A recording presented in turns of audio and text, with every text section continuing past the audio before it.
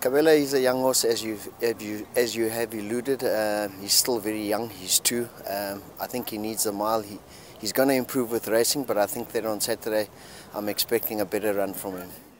Cabela, I freshened him up a little bit. I personally think the 1800 is maybe stretching him a little bit. However, his form doesn't indicate that uh, he enjoys the inside track, but a horse with that rating, there's not much to go for. He is fresh, so I'm hoping that he's going to also run well. I've backed him up. Uh, he, he, needed his last run. He ran seven lengths off them. I think a distance too short. It's not an easy horse to read, but uh, if, he, if, he, if, he, if, the, if he takes to the backup, I think that he'll run well there. Yeah, he's got a good draw. Um, his last run, he came back. He didn't enjoy it. Apparently, it rained at the Vaal. He didn't enjoy the mud. I took the blinkers off. I put them back on. He's working well, and I think that he should be in the money.